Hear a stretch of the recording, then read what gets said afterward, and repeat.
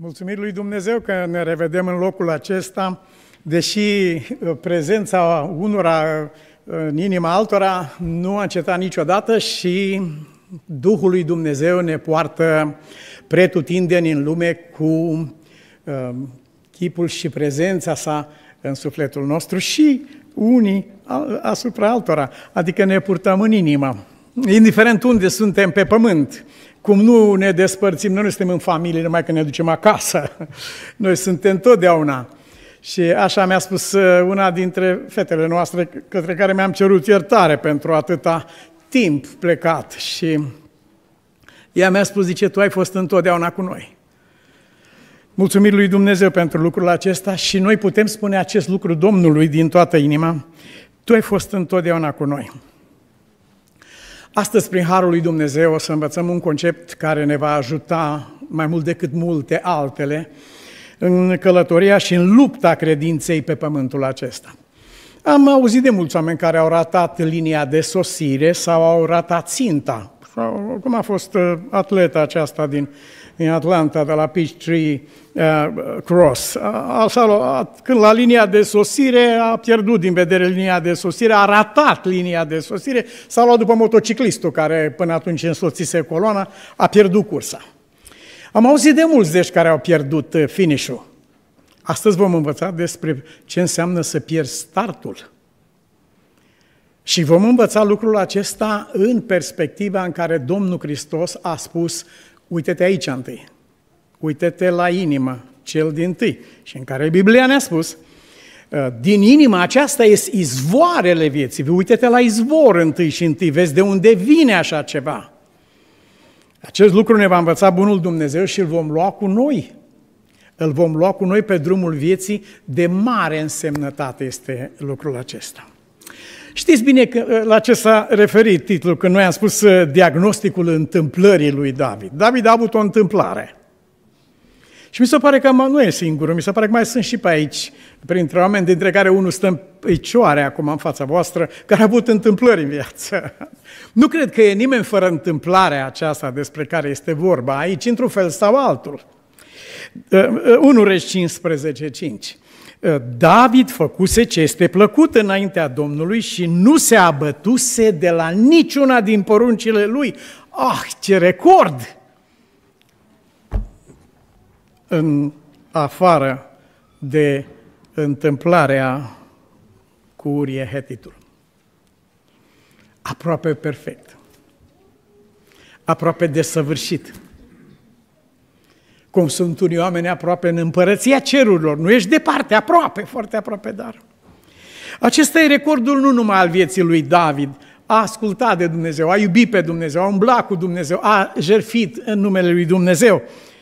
Dar a fost această întâmplare. Ce facem cu întâmplarea aceasta? Cei mai mulți oameni o ascund cu grijă sub covor, să nu se știe, să nu se aude și așa mai departe. E adevărat că putem să ascundem, chiar ieri ascultam, e adevărat că putem să ascundem gunoiul sub covor, dar zice că nu putem să ascundem mirosul gunoiului de sub covor. Ăsta nu stă sub covor, iese în casă. Și dacă lucrurile stau așa, atunci întâmplarea nu trebuie pusă sub covor, pentru că dacă nu azi, mâine va începe să miroase. Trebuie să fie o altă soluție. Trebuie să fie o cale a lui Dumnezeu prin care lucrul acesta găsește o rezolvare permanentă și dumnezească, afară de întâmplarea aceasta. Riscul nostru nu este atât de mare de a arata linia de sosire, cât este de mare de a arata startul. Ați văzut că se aliniază toți la, la plecare și poc, trage cu pistolul și în clipa aceea, dar e unul sărac cu care sub tensiunea aceasta, bum, pleacă înainte, ai pierdut startul, te-ai grăbit.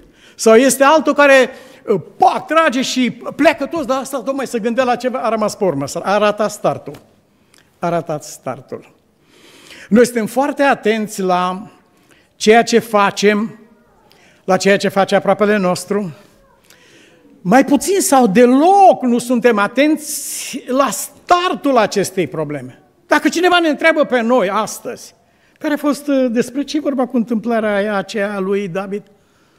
Imediat o să spunem, este vorba de Batșeba, este vorba de crima aceea împotriva umanității, când a pus armata în așa pericol, a murit atâția oameni și a murit și robul tău Urie. Așa vom spune. Și vreau să spun că nu este acesta răspunsul. Și ăsta e un răspuns greșit, ce spunem noi. Întotdeauna riscăm să pierdem din vedere startul. Stai puțin, asta e ce s-a făcut. De unde a început așa ceva? Care e startul problemei acestea? Am făcut un pas greșit în viață, vai ce am făcut, scuzați-mă, da, să vedeți de ce, că m-a enervat, mi-a tăiat calea. Nu, nu, nu. De unde a început treaba aceasta? De unde a început chestia aceasta?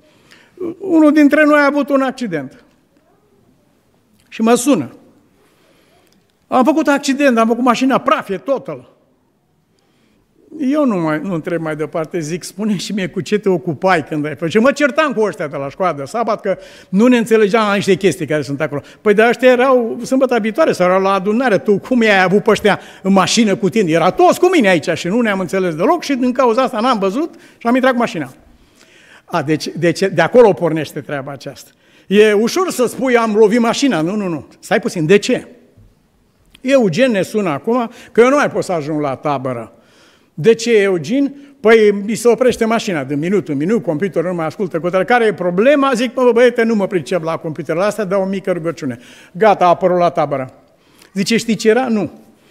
Uleiul a scăzut sub nivel. Cum i-am pus un litru de ulei, piu, a decolat mașina. Foarte frumos, dar n-ai rezolvat problema, zic acum. Ai rezolvat simptomele. Noi la adunare repede, o, cu tare bea ce cu asta? De ce bea cu tare? Acesta este... Cu tare a făcut cu tare păcat, cu tare a făcut cu tare lucru. Am înțeles de ce s-a întâmplat lucrul ăsta. Degeaba vorbim ce s-a întâmplat, dacă nu vorbim de ce s-a întâmplat, așa că i-am spus lui Eugen, zic că când, tu când ajungi acasă, nu, nu află că mașina ta a băut ulei, ci află de ce bea ulei. Asta are o problemă de bea ulei, nu, este, nu, nu degeaba se întâmplă lucrul acesta. Cei mai mulți dintre noi, personal mărturisesc că am pierdut startul în gândirea mea de fiecare dată. Ori de câte ori am suferit, a fost pentru că am pierdut startul. Ori de câte ori s-a născut un conflict, mi-am dat seama că undeva înapoi aveam posibilitatea să virez de așa natură încât să nu ajung acolo. Nu era obligatoriu lucrul acesta, n-am acordat atenție. M-am uitat la linia de sosire mi-am luat ca reper un motociclist de lângă mine și m-am luat după el și am ieșit din calea lui Dumnezeu și m-am dus pe o străduță aici în Atlanta. Iubiții mei, are mare însemnătate lucrul acesta și învățăm aceasta ca o rugăciune către Bunul Dumnezeu. Ajută-mă să înțeleg izvoarele problemei, ajută-mă să înțeleg izvoarele purtării mele, ajută-mă să înțeleg, Doamne, șoapta Duhului Tău când El mă previne să nu ajung aici și când îmi spune că este cu putință și trebuie să nu ajung pe drumul ăsta. Nu sunt obligat să ajung pe drumul ăsta. Mergem în Cuvântul lui Dumnezeu mai departe și constatăm că, de fapt, în viață, a rata începutul înseamnă a rata linia de sosire.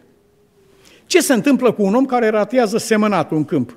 Nu prea ne mai ocupăm cu asta, că nu, mai, uh, nu ne ocupăm cu mâncatul pâinii, da, cu semănat grâu, cu de-astea nu prea. Ce se întâmplă cu un om care ratează semănatul? Uh, să apucă și seamănă pe la jumatea verii. A ratat seceratul. Ce se întâmplă cu un om care ratează tinerețea?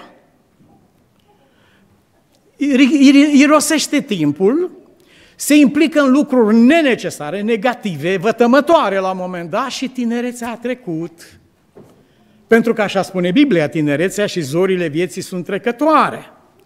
Și tocmai acesta era timpul ca un om să nu fie pierdut în prostii și în tâmpenii sau în păcatele tinereții, ci era vremea ca el să așeze o bună sau ea să așeze o bună temelie a credinței. Aduți aminte de Creatorul tău în zilele tinereții tale, de Creatorul tău, adică de Cartea Genesei, de capitolul 1, primul verset, la început Dumnezeu a făcut. Pune temelia aceasta acum.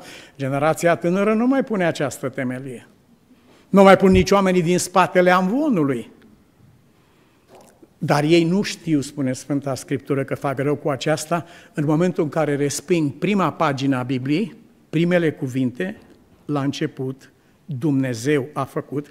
Întreaga Biblie este complet distrusă până la cartea Apocalipsei. Nu rămâne absolut nimic sănătos, ca un cancer care se răspândește în întreaga ființa unui om. Nimic nu rămâne în picioare în clipa în care cineva a călcat în picioare cea din tâi pagina cărții. De aceea Dumnezeu spune, în tinerețea ta pune temelia Genesei. La început Dumnezeu a făcut. Nu te arăta deștept sau știu eu, nu te crede singur înțelept, nu avea păreri mai înalte decât se cuvine despre tine. Nu te duce la bine lucrul acesta. Dacă Isus a ținut această carte în mână și dacă Isus a citit și citat la început, Dumnezeu a făcut, cine aș fi eu acela? Să resping acest lucru și să-l calc în picioare. E începutul. Ratăm începutul. În clipa când ratăm începutul, am ratat linia de sosire. Toate lucrurile vor fi alterate în, în alt fel și de la cuvintele la început Dumnezeu, ajungem la maimuță reală, din maimuțe, din strigăte nearticulate, prin, ajungem la, la aberații cumplite în momentul acesta. Dar nu știu dacă acordăm într-adevăr importanță începutului, la început. Nu, pe noi ne interesează finalul. Ce fel de final poate să fie atâta timp cât un om arată startul? Ce fel de final poate să fie? De aceea Sfânta Scriptură ne spune, pune aici la minte, aduți aminte de lucrul acesta. Pune la minte. E o vreme pentru orice lucru, spune Sfânta Scriptură. Este o vreme pentru orice lucru și este o vreme pentru un început. Încearcă și du, du-mă pe mine acum să învăț maghiara sau du-mă să învăț chineza acum pe mine. Eu o să reușesc, nu o să mor de foame, vă asigur. Dar n-am niciodată șansă să vorbesc maghiară cum aș fi avut dacă mă ducea când aveam 2 ani sau un an sau 6 luni. Cum, atunci era timpul, dar a trecut timpul. Și în viața noastră există un timp în care lucrează Dumnezeu într-o anumită arie a vieții noastre. Și riscăm, așa cum am învățat la studiu biblic aici, să îi expunem lui Dumnezeu o inimă ca piatra. Nu? Și-au împietrit inima. Și-au împietrit, nu le-am împietrit, și-au împietrit inima. Riscăm să prezentăm lui Dumnezeu o, o, o inimă dură ca un drum. Și riscăm să lăsăm ciorile minții noastre să culeagă semințele adevărului în sufletul nostru. Am învățat ceva frumos aici, soția chiar mi-a dat un ghiont, mă bucur de, de chestia asta, nici eu n-am știut până să învăț împreună cu voi, că de fapt toate tipurile acestea de pământ, drumul, stânca, pământul cu buruieni și pământul cel bun, toate sunt în fiecare inimă în parte, depinde de alegerea pe care o vom face. E o vreme pentru orice lucru și după cum bine știți, Iorga a spus, vezi că este uh, diabolic să te uiți unde cazi, să nu cazi și să nu te uiți unde poți să aluneci. Alunecare înainte de cădere, împiedicare, e la fel. Înainte, acolo trebuie să fii. Nu, nu, uite-te, uite-te acolo și pierzi. Pierzi momentul acesta care împiedică picioarele să le face să alunece. Aceasta este o metodă satanică de a ne fi îndreptate atenția noastră aparent spre ceva bun, justificat, dar pierzând din vedere faptul că înainte de lucrul acesta este altceva. Uite-te acolo, uite-te acolo. Îi spune diavolul lui Isus. Isus nu pierde startul. Și ne învață pe noi, fiate, nu pierde startul. Ți-a venit un lucru în minte, fă imediat. Atunci, pe loc. L-ai amânat, l-ai distrus. Fiți atenți ce face diavolul. Îi arată în deșert lui Isus să se uite la pasul 2. Poruncește ca pietrele acestea să devină pâini. Oh, nu, nu, a spus Isus. Mai e un pas înainte de treaba asta. Înainte de pasul 2. Mai este pasul 1. Pasul 1 spune, omul nu trăiește numai cu pâine. Pasul 1.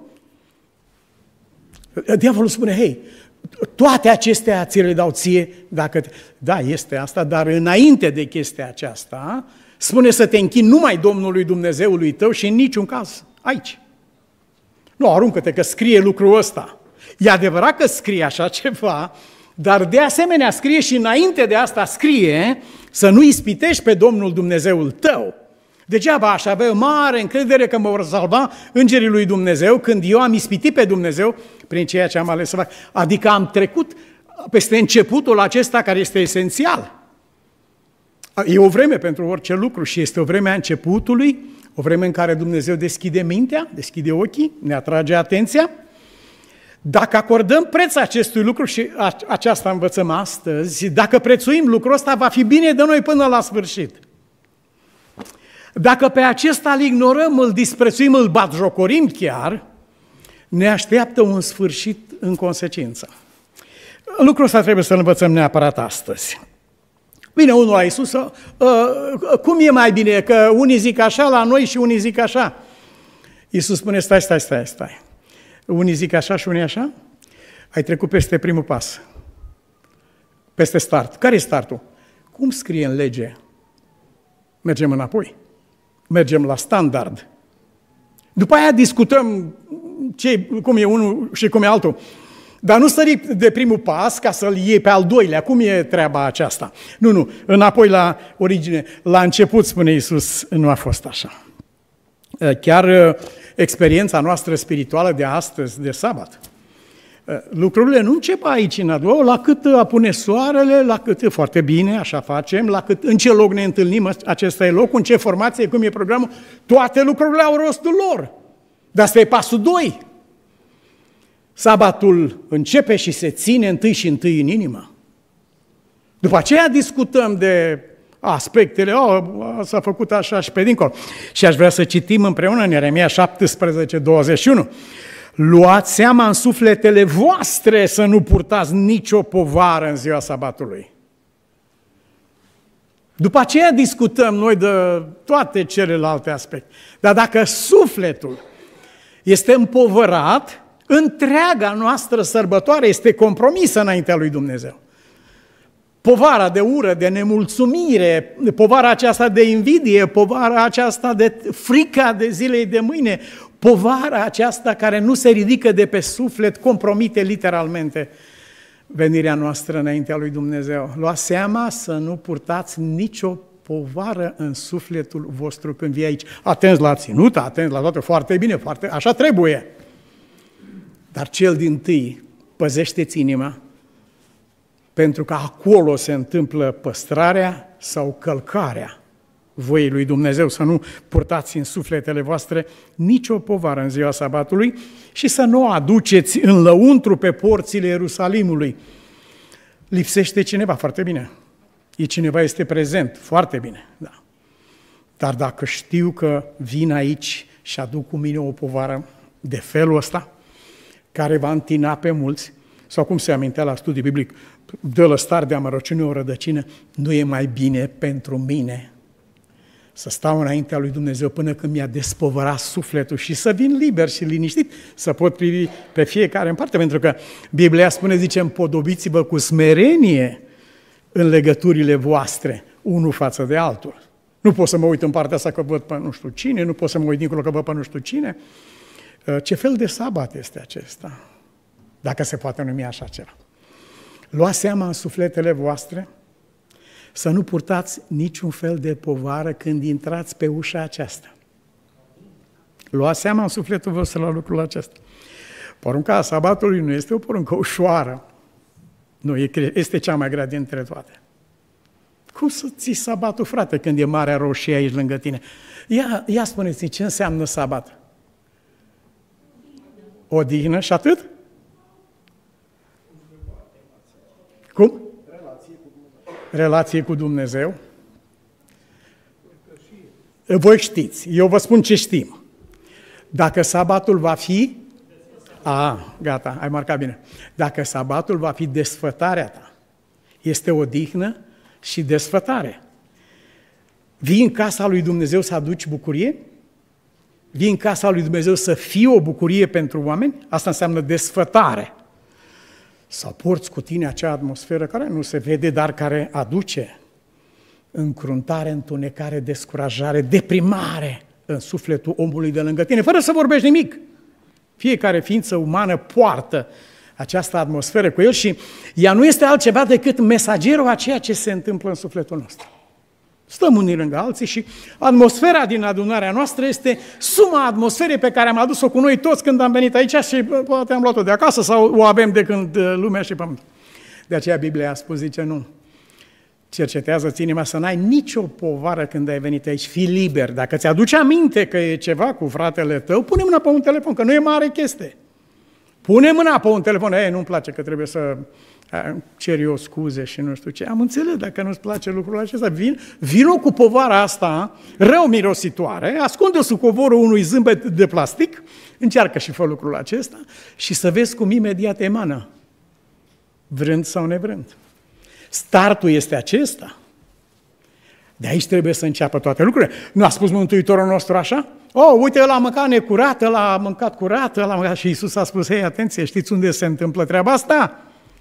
În inimă. Dar ai auzit de ăla ce a făcut? Am auzit, este un om desfrânat. Așa este. Asta a făcut. Dar nu este acesta începutul. Începutul a fost aici. O, ai auzit de familia asta s-a despărțit. Oh, păi nu este, nu este acesta începutul. Aceasta e urmarea. Știi unde s-a produs lucrul ăsta? Cartea lui Maleahi spune fiecare să fie credincios soției și soțului în mintea și inima voastră. Aici se petrece lucrul acesta. Ce se vede în afară, ce se aude, sunt numai efectele și urmările a ceea ce s-a petrecut deja aici. Păzește lucrul ăsta în primul rând. Doamne, la ce mă gândesc eu acum? Ce se întâmplă cu mine? Pentru ce suflete gemi îl întreabă David, întreabă și întreabă propria viață? De, de ce gem? Care e motivul de... Și uite, ridică ochii spre Dumnezeu, nădejde. Dar de ce ești rău, frate, mă întreb. De ce ai sufletul așa? Ce se întâmplă cu tine?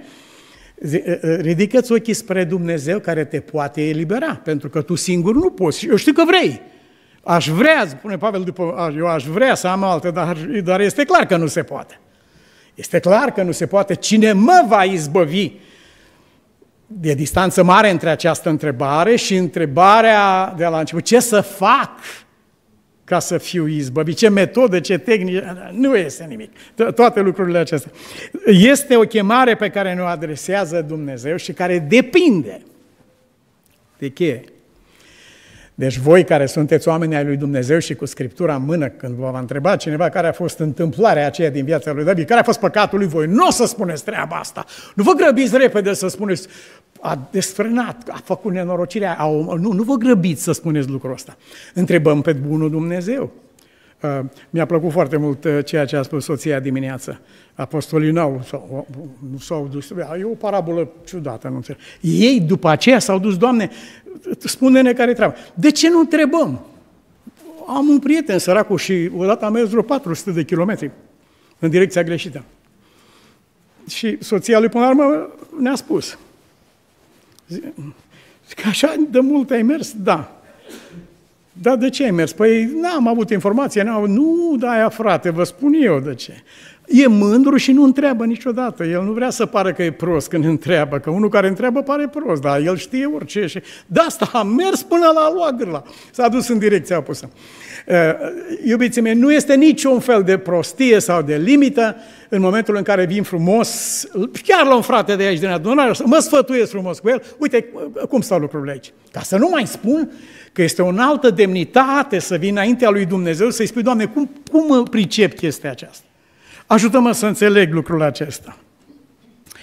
Chemarea pe care Dumnezeu ne adresează nouă este aceea ca sufletul nostru să fie smerit înaintea lui Dumnezeu, că aceasta este cauza.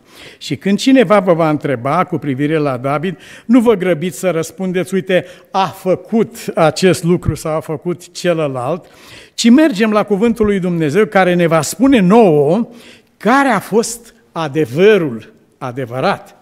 Nu părerea noastră, nu informații din cărți, nu cultura în cultura noastră, ci așa vorbește Domnul.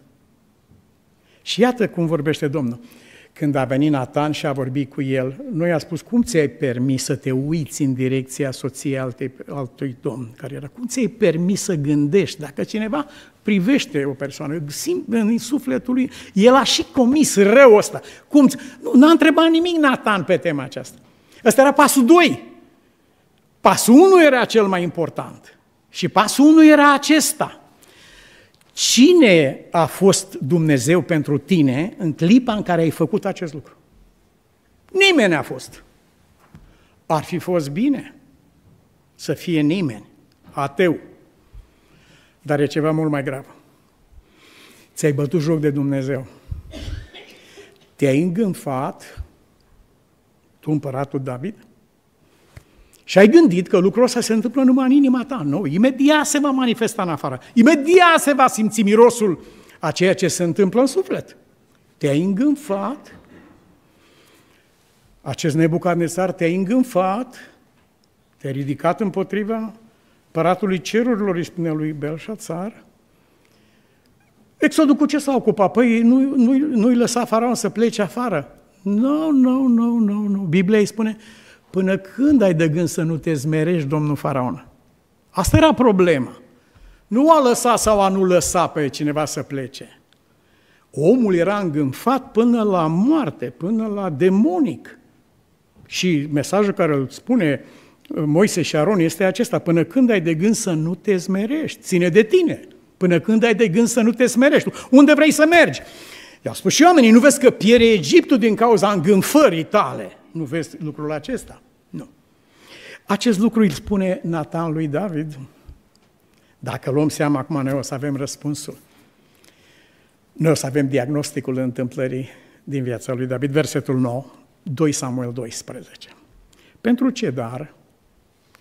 Domnul i-a spus, uite, eu te-am luat de la oi, te-am așezat împărat, toate lucrurile au fost date ție, dacă mai trebuia să mai dedeam, dar dacă îți dedeam mai mult era rău. Atâta, e de ajuns asta. După ce spune lucrul ăsta, acum Dumnezeu adresează diagnosticul lui. Pentru ce dar ai disprețuit cuvântul Domnului? Asta era păcatul lui. Nu Batșeba, nu Urie, nu. Pentru ce dar ai disprețuit? Când disprețuiești pe cineva? Când ești îngânfat? Când te uiți de sus? Atunci disprețuiești. Să ajungi să te uiți de sus la Dumnezeu? Nu te frământa, e așa de ușor, nici nu-ți dai seama când aluneci acolo. Spune Biblia că alunecă pe fața apelor răul și răutatea. Tu, David, tu, omul lui Dumnezeu, tu care ai scris psalmii, tu care vezi în Dumnezeu atât, să ajungi tu să te îngânfi, să disprețuiești pe Dumnezeu. Cum ai ajuns aici? Nici nu știu când. Toate sunt legate nu de credința în Dumnezeu, ci de ceea ce crezi tu despre El. Fiți atenți! Vă încredințez ceva care mi-a mișcat sufletul până la lacrimi. Mă, mă, mă, mă, mă tulbură în sensul bun un fel de descoperire, că tot mai sar după, după scaun și mă, mă duc prin jurul camerei. Sunt speriat pur și simplu de sensul acesta. Urmăriți-l pe Petru în fața lui Isus. El este declarat de Isus, Duhul Sfânt ți-a descoperit ce ai vorbit acum. În prima secundă. În secunda a doi, el e declarat de Isus satana. Înapoi a mea satana. E, știu că vopsim, mai aranjăm noi cuvintele, că a zis așa pe dincolo. Bine, e, este ok. Mă, mă interesează diagnosticul. Cum, nu ajung, cum să nu ajung aici? Petru credea în Isus. Nu pentru aceasta era el satana, ci pentru aceasta era de la Duhul Sfânt. Dar ce credea el despre Isus? O, să te ferească Dumnezeu să faci chestia asta, vai de capul, înapoi a mea satan. El credea în Isus, dar ce credea el despre Isus nu corespundea niciodată cu adevărul. David era iubitul lui Dumnezeu, el era omul, dar ce credea el despre Dumnezeu? A fost expus prin nenorocirea aceasta. Ai disprețuit cuvântul Domnului și inevitabil ai făcut ce era rău. Nu mai ai nevoie să întreb ce urmează după ce disprețuiești cuvântul Domnului. După ce îți bați joc de adevărul lui Dumnezeu s-a descris. Nu e vorba de a nu crede adevărul, a nu crede cuvântul, nu e vorba de prigonitorul care luptă împotriva cuvântului, ci e vorba de unul care își bate joc, disprețuiește, el, el e mult mai deștept, mai înalt decât cuvântul. Na, na. Și asta, aceasta îi spune bunul Dumnezeu. Aceasta te-a dus aici. Dacă nu rezolvi această problemă, degeaba încerci să nu mai mergi după Batșeba. Ai să te duci după o mie de Batșebe din nou. Nu, nu ai rezolvat problema până când nu aduci inima ta la judecată înaintea lui Dumnezeu, la tratament, tratează în Dumnezeu meu inima. Vezi că e bolnavă, tratează-mi Duhul, pune în mine un Duh nou și statornic. El a înțeles de unde venea această problemă din cuvintele lui Nathan. Și versetul 10, Domnul vorbește direct și spune așa, pentru că m-ai disprețuit. M-ai disprețuit. Moise și Aron fac o lucrare așa nemaipomenită și ei unde au căzut? Tot aici. Pentru că m-ați disprețuit în fața poporului. Noi mergem pe calea credinței de atâta timp. Unde îi primești sufletului nostru? Tot aici. Dacă așa stau lucrurile, cuvântul lui Dumnezeu ne îndeamnă să privim la acela care a lăsat un exemplu în fața noastră. Iisus nu a fost dezbrăcat când i-au luat cămașa de pe el, ci a fost dezbrăcat când, așa cum scrie în epistola către filipeni, s-a dezbrăcat. Aceasta a fost răstignirea lui în fața cerului și a pământului. Ce am văzut noi la Golgota este o urmare a faptului că s-a dezbrăcat de sine și pe sine. La aceasta suntem și noi chemați, iubiții mei. Să aveți în voi gândul care era în Hristos Iisus. Acesta era începutul, dezbrăcarea. După aceea urmează Ghețiman și Golgota și tot ce a urmat în viața Mântuitorului nostru. Dar dacă acest lucru nu are loc, nimic nu este de folos.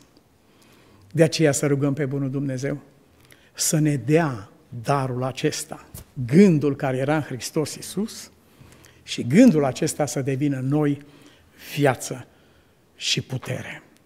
Amin. Tată Ceresc, înaintea Ta se pleacă sufletul nostru și cerem de la Tine un singur dar. Dă-ne și nouă, Doamne, Dumnezeul nostru, gândul care era în Hristos Iisus, Domnul nostru. Dă-ne puterea aceasta de a dezbrăca euul nostru și de a ne îmbrăca în Domnul Hristos. Dă-ne puterea aceasta, Doamne, care nu este în noi, dar este pregătită pentru noi. Fă ca aceasta să fie experiența noastră ca persoană, ca familie, ca adunare a copiilor noștri în lumea aceasta și a oamenilor pe umărul cărora Tu așezi mari răspunderi pe pământul acesta. Ne închinăm și îți mulțumim prin Domnul nostru Isus Hristos. Amin.